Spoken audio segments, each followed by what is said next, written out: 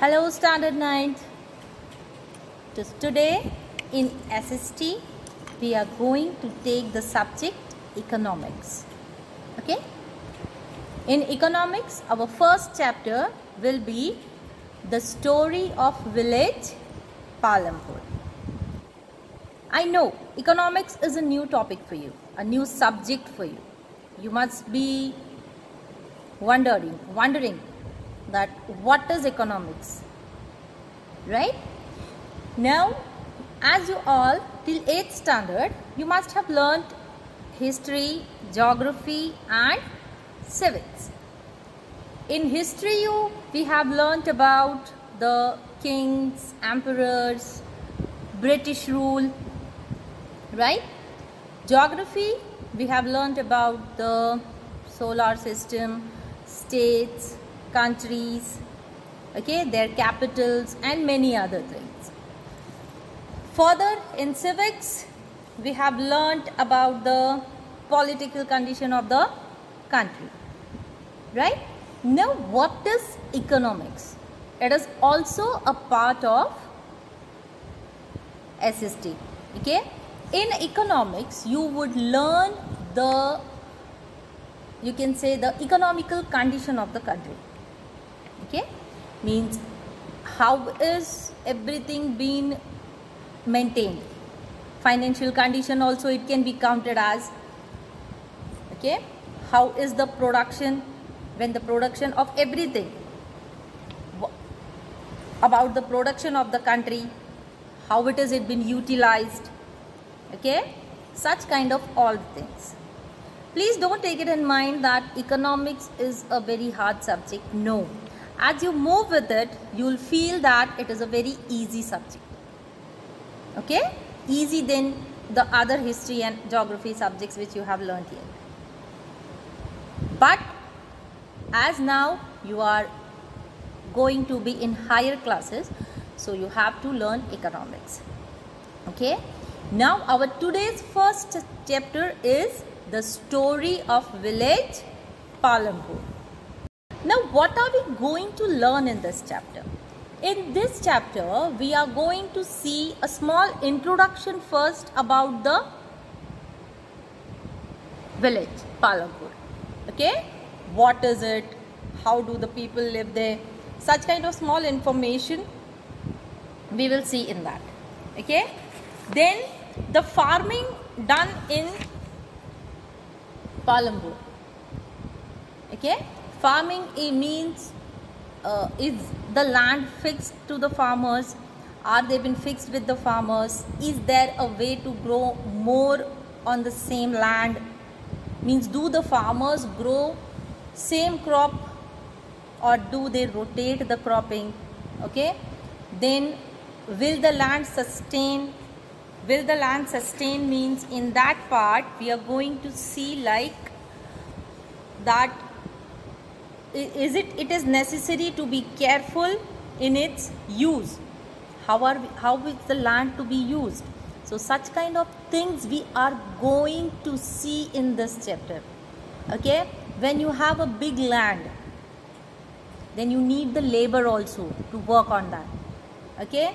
With the labor you need new kind of technology right? Who provides that every time it is not you can say it is the farmer is not comfortable or not capable to keep the labor then who provides the labor? Okay? The capital which has been needed. Capital means here you can say that the money which has been needed. Who provides that? And how much money is being needed? Okay? And after that whatever growth is there. Growth in sense the crops which are being grown okay? How are they being sold? And what about the surplus? Surplus means the amount which has left back. What is being done of that okay? Other than that we will see that in the village you know that each and every person is not in the occupation of farming. There are many people who do non-farming activities so which are those non-farming activities? How are they being done?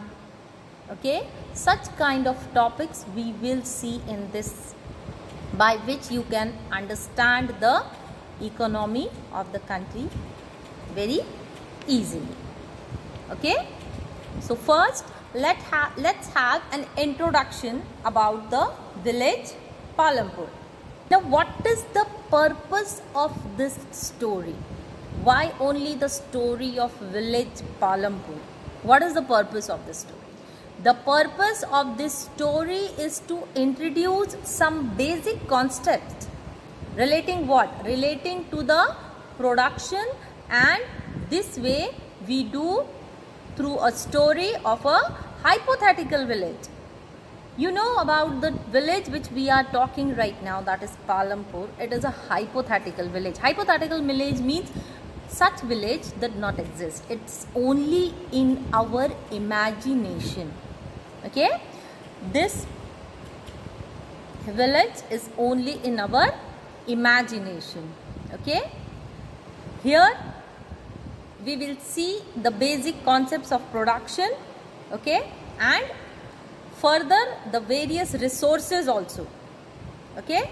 How various resources are connected to each other and the other services in the village Palampur we will see in this okay now farming is the main activity in Palampur. Okay, which is the main activity? Palampur. I have told you there are non-farming activities also. But first farming is the main activity. Okay. Then several other activities like uh, some people have small scale industries in Palampur.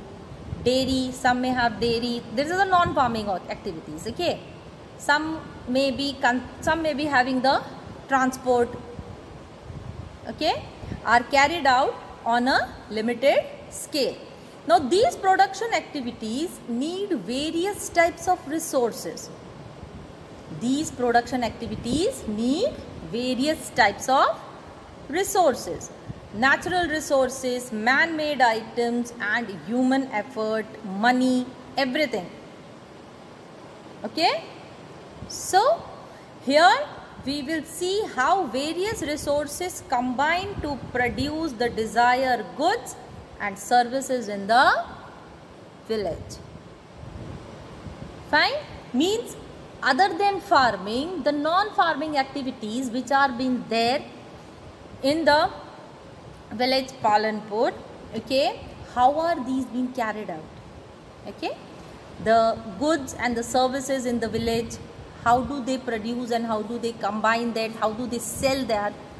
Okay? Here we are looking at a small introduction about it. Okay? Now further about the villages how many families are there because you know whenever we talk about a village first thing that comes in our mind is uh, is the village very big if it is big how many families are there okay so here we can say that this village, this village means Palampur. Palampur village has about 250 families. Okay, has about 250 families. Okay, but before that, you should also know that the neighboring villages, Palampur is well connected with the neighboring villages. Uh, which are these neighboring villages?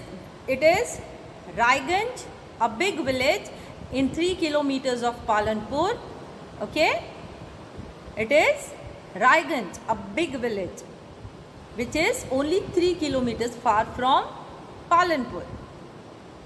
Okay. Now Palampur has 450 families and these 450 families are of several different castes from which 80 upper caste family are there and as we know upper caste family means they are a rich family but they can be counted as a rich family okay? And this rich family majority of them have their own land. Majority of them have their own land their houses. Some of them are quite large. Okay? The houses in which these upper caste families live Their houses are quite big, quite large and the houses are made up of cement plastering. Okay. Now this we have talked about the rich family or the upper caste family. Now about the SC. SC means the scheduled caste family. The scheduled caste family or you can say the Dalits. Okay. The Dalits they live one third of the population you can say they are the one third of the population in the village okay and they live in the one corner of the village okay? And how are their houses? Their houses are small and they are made up of mud and straw. Okay? Understood? Which type of people live in village Palampur? There are two type of people rich and poor. Both you can count as but here they have given it as upper caste people and lower caste people. Upper caste people are about 80 you can say.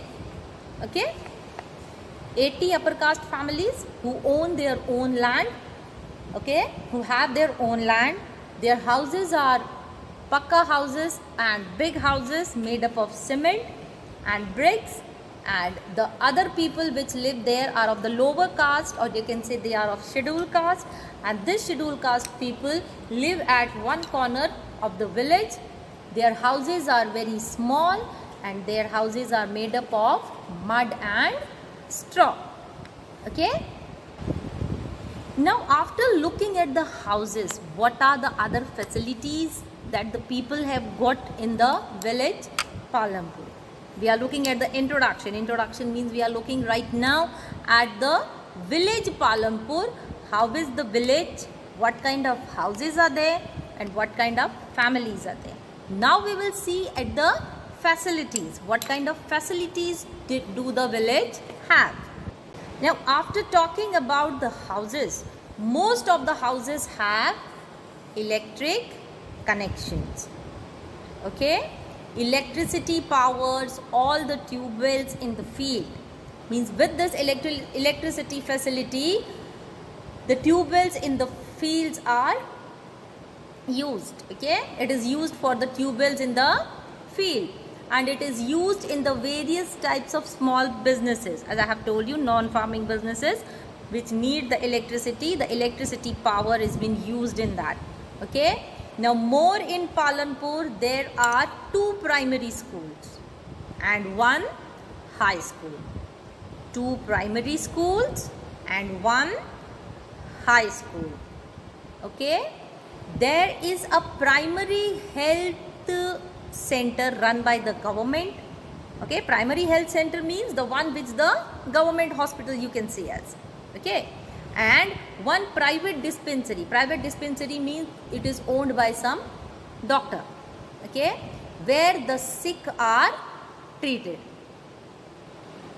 okay now these are the facilities which the Palampur village has what does it have it has the electricity facility in all the houses most of the houses sorry not all the houses most of the houses have the electricity connection in Palampur village okay? Now this electricity power is used for the tube wells in the fields okay? And this electricity power is also used for various types of small businesses. Palampur village also has two primary schools and one high school there is one government hospital and one private dispensary where the sick are treated. Okay. So, this is the facility which Palampur village has. Okay. Let's see something more about it. In the further description, we have seen that Palampur is well developed because we have seen that Palampur has electricity facility also, schools also, transport facility also, a neighboring village like Raiganj, which is, which is also called as a town, which is only 3 kilometers far from Palampur. Okay. We have seen that it is connected with the villages and towns. Which type of villages? It is Raiganj and Shahpur. Okay. Fine. Now, now there are two types of activities in Palampur. Okay, which are these two types of activities? The first is the farm activity and the second is the non-farm activity. First, we will try to understand about the farm activity. Okay, what type of land has been needed, how, with whom, how is agriculture been done, everything we will see in this. Now till here you have understood that the story of Palampur is imaginary okay? But it will allow us to know about the farming okay? So let's move to the first topic that is organization of production. How is the production being done now just to take you inside the village, I have given you a picture here. How does a village look? What kind of vehicles are being used there? Most of you will see the bullock carts or you can say the jeep, tractors, such kind of vehicles most of you will see in the villages. Okay? The houses of all the types of houses they can be pakka house also they can be kacha house also made up of straw and mud. Okay? So with this i think you are now in a village. Okay? Let's move further. Now organization of production. What are the requirements of it? If you want to do the production what kind of requirement is there? The first requirement is the land. Second labor. Third is physical capital. Okay? Now this physical capitals are of three types fixed capital working capital and human capital. I'll explain you each and everything so that you can understand what is capital physical capital fixed capital, working capital and human capital. But first let us discuss about the first requirement that is the land. Okay. The aim of production is to produce the goods and services that we want. Okay. Now what is the aim? Our aim is first to produce the goods and services what we want. Okay. Now there are four requirements which I have told you. Land, labor, physical capital. Okay? Fine. The first requirement is the land and other natural resources such as water, forest and materials. Now on the land also, if we only have the land, is our requirement going to be finished? No. With this, we need many things for production. We need water, we need many types of raw materials, okay, and minerals if we are doing non-farming job.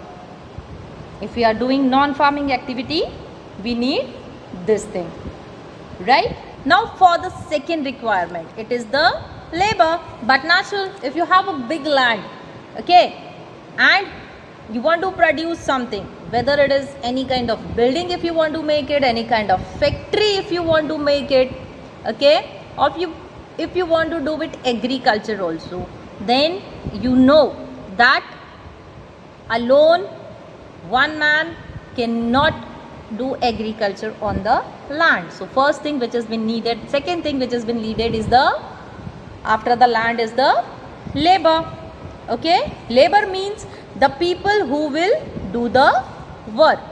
So that's why we need labor because without labor we cannot produce anything. Okay. It is it will not be a easy task.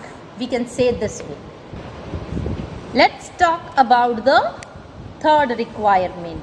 After the labor, land, we are going to see about the third requirement that is the physical capital. Now what is physical capital? Physical capital that is the variety of inputs that are being required at every stage during the production. means what kind of uh, you can say inputs are being needed raw materials sometimes you can count it as uh, what can we say tools okay sometimes you need a hard cash in your hand okay? So such kind of things are called physical capital. Now this physical capital can be of three types. Now we can divide this physical capital into three types. The first we will talk about the two. The first is the fixed capital and other is the working capital. Now the fourth main requirement, though this requirement it is counted under physical capital, but this is the main requirement without which the other three are not going to work and that is the human capital. Okay? Try to understand this human capital very carefully guys because this is your second chapter for the economics. Okay? This is your second chapter about which you are going to learn what is human capital and whatever is been explained please try to understand because there may be many question and answers related to this. Okay? What is human capital? What are the factors of physical capital? Okay? What are the four requirements of the organization of production? Such kind of questions will be there. So while explaining the chapter, my dears, please pay attention very carefully. So the organization of production, for the organization of production, which four requirements are there? Land, labor, physical capital and human capital. And which are the three factors of physical capital? The three factors of physical capital are fixed capital, working capital and human capital. But you can count it as physical capital and working capital okay now let's see about the more about it okay? Now again i'll explain you something. You can say let's revise about the land labor and physical capital. Now land is the first requirement of the human being or you can say for the production. For that we need other natural resources also that is the water forest and minerals. With land we need the labor. Some activities require fully qualified workers. We can do the technical work or the work on computers and fulfill the other task. Okay. And for some activities we require workers who have the physical capacity. Physical capacity means they can pick up the loads and take it from one place to another and but in other activity the labor is vital vital means vice versa you can say they can either they can have both of the knowledge like they can pick up the they can be highly educated also and they can have the physical capacity also okay so the first two things which we require for the production is land and labor. Now physical capital in which we are talking about the fixed capital. I know you have understood but it is not that much easy. Okay. So let's have a look again on it. Tools, machines and buildings. As I had told you the land which we have it on that if we construct a building okay the machines which we use it for production the tools which we use okay can be used in production for many years. Now these things are going to last for many years with us okay? That's why they are being called fixed capital okay? Tools machines range from very simple tools. I have told you that now they can these tools can be anything. They can be the plow used for by the farmer for farming or they can be a sophisticated machine also. Okay? Now what is sophisticated? Sophisticated means a machine system or technique developed to a high degree of complexity. Okay? Complexity. So the tools can be of anything. They can be of higher also and they can be of lower also. Lower means they can be of the farmers plow also and they can be of big machines also. They can be computers any weaving machine or anything. Generators which we are using it. Okay? So these can be sophisticated machines. And we know that the ones we have bought these big machines or the tools we are not going to use we are not going to bring it for years. So this can be counted in fixed capital. Okay? Now about the working capital again. Working capital requires a variety of raw materials like you know whenever we do some kind of production the first thing which we need is the raw material. Okay? Now here we can take it as uh, like weaving a cloth if you want to weave a cloth the first thing which we need is the yarn. Okay? After that and now this yarn when we need it we will bring this yarn when we want to do the production of cloth. Okay? We are not going to bring this yarn all together with for many years and keep it. No. We will use it we will bring it when we need it. Okay? So working capital. Production requires a variety of raw materials like yarn used by the weaver or you can take the other example of clay bought by the used by the potter. Now if a potter wants to make pots okay he will bring the amount of clay only that much amount of clay which he needs to make the pot. He will not bring a big amount or a big quantity of large quantity and keep it with him that so that he can use it for years no. Okay. And same we need some kind of money also. Why money? Money means we have to do some kind of small small you can say payments daily. Like for tea or some kind sometimes some kind of charges. If the goods are being loaded or unloaded to pay to the labor and everything we need the money okay so for the working capital two things are being needed. First is the raw material and second is the money. Okay? And also to buy other necessary materials when you are under a production when you are doing a production work you need many kind of necessary materials. Sometimes this is not there sometimes that thing is not there. The tools sometimes the tools may not work. You have to call the mechanics for it so for that also you need the money in your hand okay? Raw materials and money in hand are the working capitals. As unlike tools machines and buildings these are used up in productions. Because tools machines and buildings they are going to be there for a long time. But the money and the raw material they are going to be used up daily in the production. Daily at the time of production. But the tools machines and buildings no.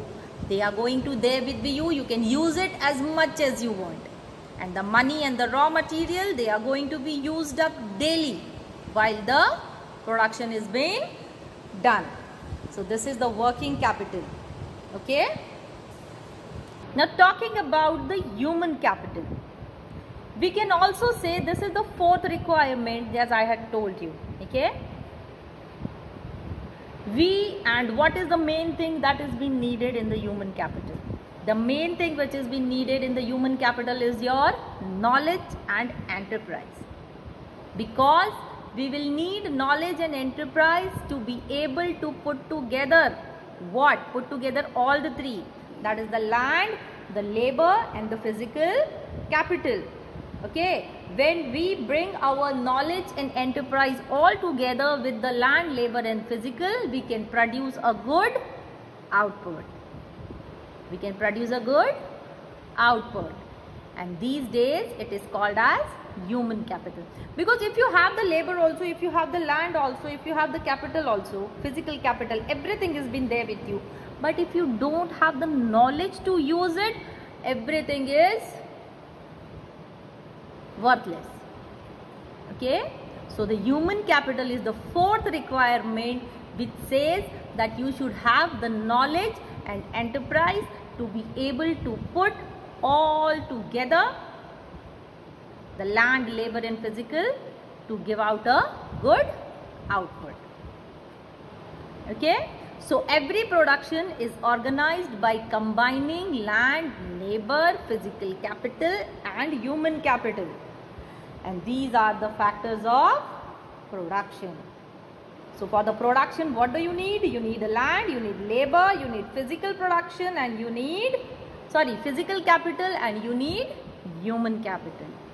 So these factors of production, which with these factors of production, you can give a good output. Okay. Now, this chapter is a big chapter. Okay. So, it cannot be possible for us to complete in one session. Why? Because it won't be that much easy for you to understand. Okay. So, we have divided this chapter into two parts. That is the first part. We have come to an end with the first session, first part. In this first part, you have come to know about the organization of production, how it has been done. Okay. We have seen the requirements of the production that is the land, labor, physical capital and human capital. Okay. I hope you have understood about the land, labor, physical capital and how these three are being combined and been used by the human capital. Okay? Now note down some words. That is called a vocabulary so that it would be easy for you to understand the chapter. Okay? So our today's first word is dispensary. D i s p e n s a r y. Dispensary dispensary means a clinic provided by public okay a clinic, dispensary is a clinic which is being provided by public or charitable funds. Okay. Next word is sophisticated. S O P H I S T I C A T E D. Sophisticated. Sophisticated means you can say it is a machine system or technique okay developed to a high degree of complexity. Sophisticated means of a machine system or technique which is being developed to a high degree of complexity. Complexity okay. Next is comprise c o m P-R-I-S-E, comprise. Comprise means consist of or you can say be made up of. Consist means comprise means consist of or be made up of. Next is enterprise. Enterprise means a project or undertaking especially a bold or complex one. Now you can say enterprise means a project or undertaking something. Okay. Next is resources. Resources means a source of help or information. You can say. Okay. Resources means a source of help or information. Okay. Next word is turbines. Now what is turbines? Turbines means it is a machine for producing continuous power. Okay, we had seen in the fixed capital where we are using some kind of tools or machineries which are going to be used for many years. So that can be counted in fixed capital. So turbines. Turbines is one type of a machine for producing continuous power in which a wheel or rotor is typically fitted with vanes. That is one type of a machine which produces continuous power. Okay. Now for the exercise. For this lesson, our exercise we will complete after we are going to complete the chapter. Okay. Because now you have to prepare for your higher classes. So the exercise or you can say the question answers and other things, how are they going to be? They are not going to be like you have learned it in 7th or 8th standard. Okay. So the question answers we will do in in the end of second part. Okay. Till then, whatever I have taught you, please try to revise it again. Try to understand what is physical capital, what is human capital, what is working capital, difference between that. Okay. Till then, take care. Bye.